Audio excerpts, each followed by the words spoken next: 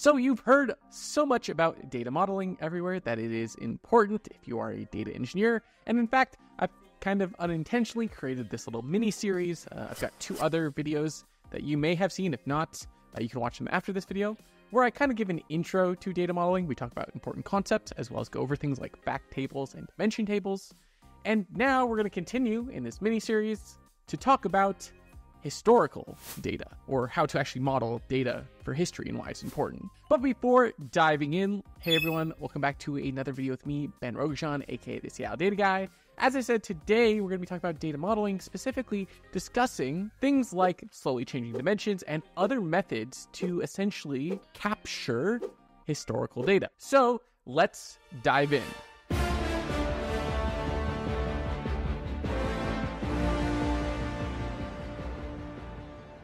Recently, I also saw that uh, Zach Wilson uh, put out a video where he also discussed a few other videos, in- including tables such as cumulative tables, uh, which is another way you can definitely model uh, historical data. Uh, but we're going to be not talking about that today. Uh, we're going to be talking about facts and dimension. So. If you're thinking about historical fact data, generally speaking, fact data really, at least the way you might be thinking about it, is already kind of capturing historical data, right? Because you're capturing events. So let's say you have this fact table here, right? Uh, you might have a date, uh, date or date ID here, so it can connect to a date dimension table. You might have an event timestamp to like actually capture the actual timestamp of when it happened.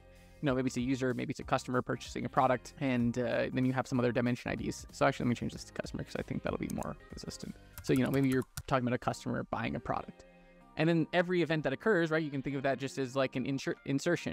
As much as that says process, I am just viewing this as a row. So you can just, you know, this is event one here. So this is, you know, customer one, uh, event one for them, and then you're just gonna keep appending to that, right? Like it's just gonna be an appending, appending situation, right? Okay, there's event two.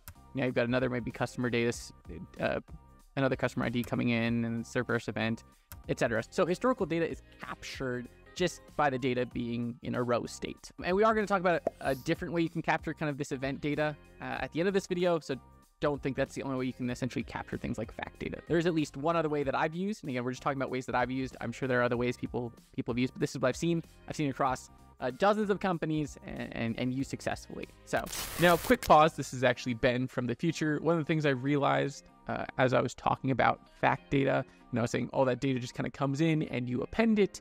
Uh, honestly, it can really depend on how the data comes in. For example, I worked at a company where we would have to append data at least in a few different ways because there's the easy way, which is just appending it. So every new event uh, you get, you just append it. Sometimes this even takes care of things like reverse outs or, or kind of when you maybe have something like a return, or maybe if you're like in healthcare, maybe one of the bills was disputed. So you have like a negative $50 on that bill. So you'll actually get that appended onto it. So that's one way where it's like everything's appended. You could just have a replacement. So sometimes you might have the same ID. So there might be whatever that event ID, and a new event ID might come in, and that might actually just fully replace the prior one where you delete the old data. Instead of minusing $50, it's just the new amount that you now owe or, or have to spend for whatever it might be. Again, could be healthcare. So it is important to note that although maybe how it looks like in the table might always look the same, where it's just a bunch of events in a row, how it gets inserted can vary uh, and will change how you actually develop your system on the other end. So just wanted to have that quick caveat. Now we can jump back to uh, PastBen. That's kind of how you can think about fact data. It's very straightforward in that manner that it's, you know, as each row comes in, you're capturing fact and information. You're not losing it. That's the key, is you're not losing it. Now the problem is, let's say you have got another dimension table. Let's put together a dimension table. So let's say, uh, usually, I think a good one is like dim customer. Uh, looks like they're doing this way, so I'm just going to stick with this way. Dim customer. You know, you've got customer ID. You know, city. Let's say city where they live. That's going to be a varchar of some kind. Maybe date created. Their name, right? I mean, then you can just ignore this last one, so I'm just going to remove that. So then actually these would probably be swapped.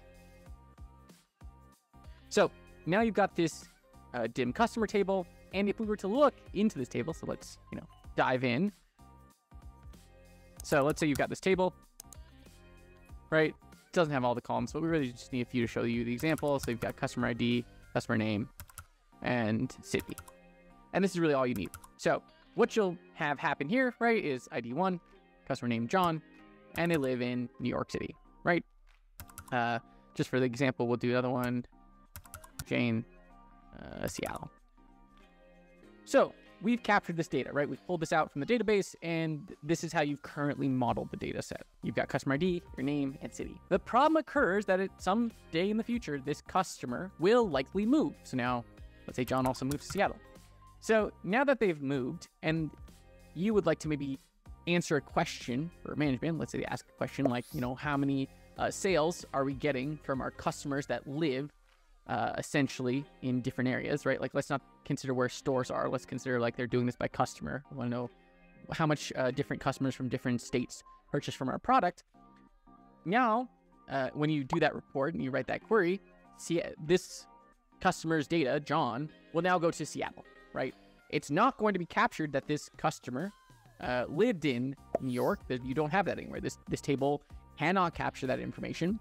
And so you've lost where they have lived in the past. And so you're losing information. I mean, so this is where you actually have to think about how you model historical data. And so when you hear slowly changing dimensions, what that really is, is you trying to capture and model change over time of these dimension uh, data sets. And in general, there there are a few different types of slowly changing dimensions. I've gone over them in the past. This is arguably this switching, you know, switching from Seattle to NYC or NYC to Seattle is arguably type 1. Generally speaking, I really have only seen either type 2 or kind of type 6, some level of type 6. I, I don't think I've ever seen it perfectly implemented for, for type 6, which means uh, that type, essentially, you could just think about it, that this would have at least two more columns, and we'll just add one more row, for example. And you've got your start, basically kind of like a start effective date, they might call it effective date or something like that, and then end date. I'm just doing this to simplify it. So what that will do is, you know, for that NYC, you'll actually capture where that person stops and starts, essentially, when they live here and when they live somewhere else. So 2023 at 1, and let's say they end at 2024. Let's make this easy on me, a 101. And then when you end up re-adding in this data, you'll actually add a new row so this started, let's say 2024-01, and then this will be null. And again, you have the same thing here where since this hasn't changed yet, they'd be null. So what this does is actually capture dimensional data um, through history, right? So as as things change, uh, you know you should only pull data where there is essentially a null end date. So when you write this query, you'll say select from dim customer where end date is null. So you only pull the most recent uh, information. So you're not getting, you know, all this historical duplicate data.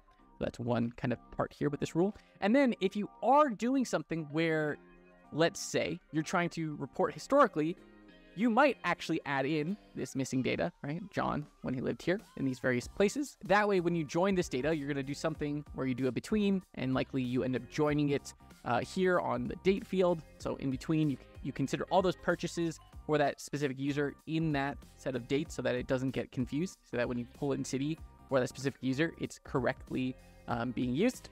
And then obviously you're going to have a bunch of duplicate fields, but each of those should be for the specific events. So now you're going at the like sales uh, level versus the customer level. So you're going to have multiple instances of John. But in some cases, John will be living in New York City. And in other cases, they'll be living in Seattle, which would make sense, right? Because when they moved, you don't want to report that data uh, moving forward but you want to make sure you accurately report the past. Now, this is just one way essentially to capture this specific data set. Um, I say that because at Facebook, we actually did it slightly differently. Now, at Facebook, what we ended up doing, so this is again, this is one way you can have your standard slowly changing dimensions. But at Facebook, the way we ended up doing it, let me just get a box. I just want a box out. Let me get this. The way we ended up doing it is you could kind of say, let's say, I want to change this over here. So this was essentially uh, just a partition where somewhere in a folder, this was essentially a file somewhere that was like 2023-01-01. So on this date, we had all the data. We just took a snapshot of all employee information at that time. So let's just say 2023. And then again, this is kind of a, a folder system. So you can think about like above this is like some folder called employee somewhere because it's in like a Hive uh, Metastore somewhere because it's in a HDFS folder system some, somewhere. And then essentially what you can think from there is that each one of these then had, you know, for every date that continued, you would just have another one. And we would just store all the data. So each of the, you know, this would be, this first one here would be all the data snapped on that day. Took a picture of that specific day. Uh, so with this one, right, like for O2, that's how we, we capture that data, and O3, that would be that. So let's say it's all employee data from that specific date. Now, part of this is possible because storage was rather cheap, and this kind of could make it somewhat easy for analysts, right?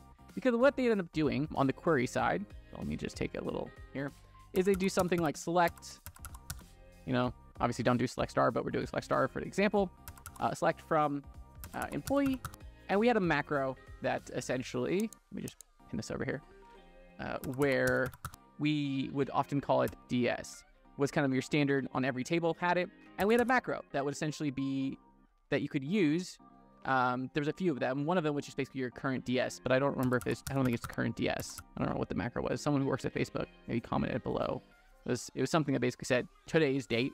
Um, but you could also use uh, your own macros in dashboard. So let's say, for example, you, you end up having to join this to some other table join. Trying to think of a good table that would be here. You know? Let's do um. What would you do? Like employee learnings, because there's like a learnings table of like like the courses you go through internally. So you know L whatever. You join this on both employee ID. Uh, you know L dot employee ID. You can be mad at me for doing a one letter uh, alias later.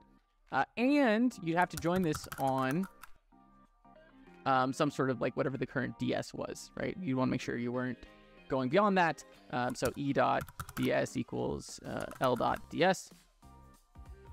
And then maybe you had a uh, dashboard kind of filter here. So literally it would go back, it would automatically populate, hey, we're looking at, you know, 2023 01, 03. And so as it went back and proliferated through this join, right, like it would automatically look at e.ds, let's say. And when it did this join up here, right, it would only pick one of the dates automatically, right? Like, so LDS is only going to pick one date, so you're not going to get duplicate data. You're only going to get, let's say, again, 2020, this data set here uh, and then only the learn data from that data set, if that's your goal, right? Like that, that might have not been your goal. This is just an example.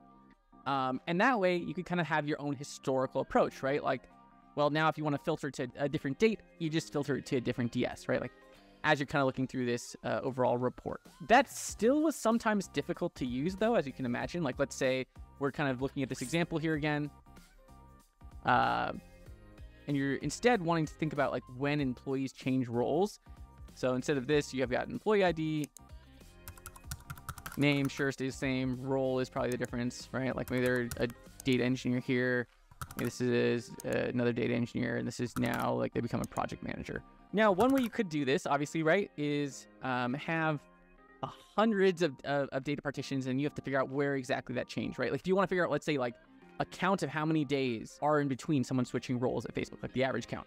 It's going to be really difficult to to kind of calculate here. To have to like do a lot of manual things. Where really all you'd have to do here is uh, do something where you say, you know, from this employee table, uh, count the number of days in between here, and then you can figure out the average from there, which would be far more straightforward than trying to go through all these partitions. So we actually still ended up needing to create this.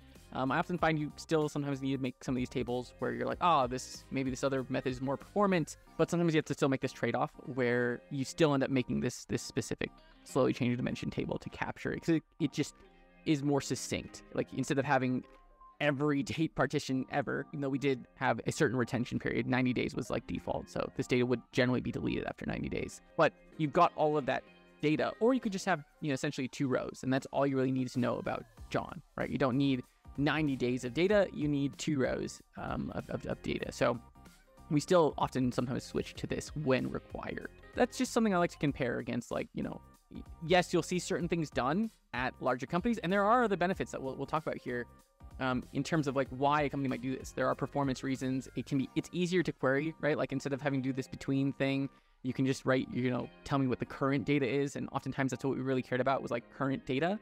Um, also, when data gets really big, sometimes you don't want to store as much and you just want to store like the current date and you don't necessarily want uh, a large data set.